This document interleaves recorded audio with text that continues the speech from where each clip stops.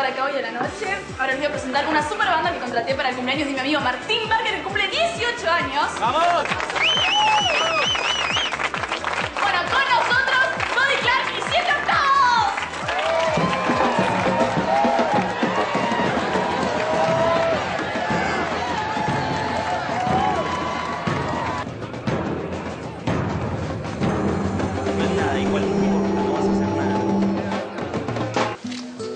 Pena que Tomás ya no sea más embajador. ¿Qué dijo? ¿Perdón?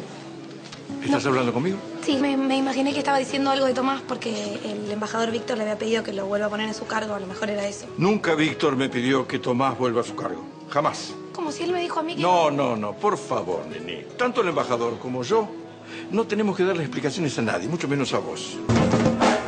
¿Qué haces acá, cara dura? Te estoy hablando. ¿Qué me querés arruinar el cumpleaños?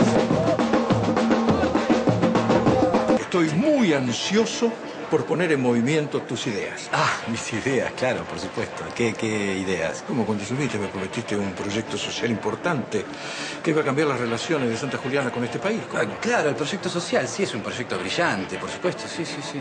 Si vos te vas a Santa Juliana, yo... Yo no sirvo para un amor a distancia, Pepu. Venite conmigo a Santa Juliana y empecemos nuestra historia de amor allá, de cero. Esta es tan pavota que es capaz de decirle que no.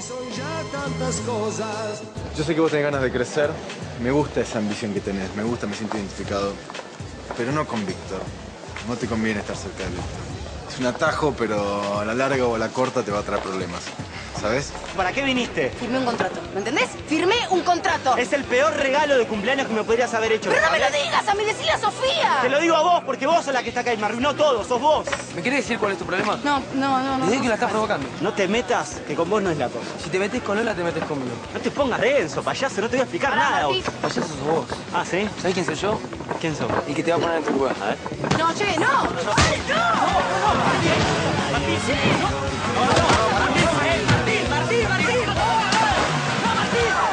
quedes para que cuides a Nini. Ah, ¿a Nini de qué? ¿Por qué? Cuidarla de Víctor principalmente y, y de mí. De mí también. ¿De usted? Sí. ¿Cómo? ¿Cómo? Que no me extrañe, que no, que no me piense, que no me sueñe. Quiero que alguien en esta historia tenga un final feliz.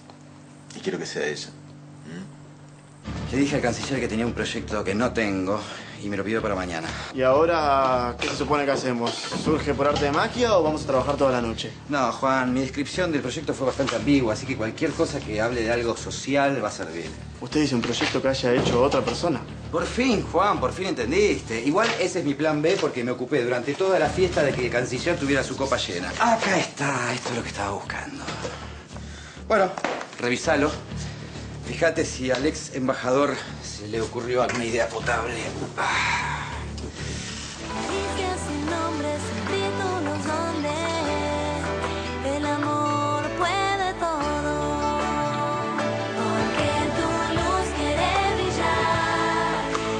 Van a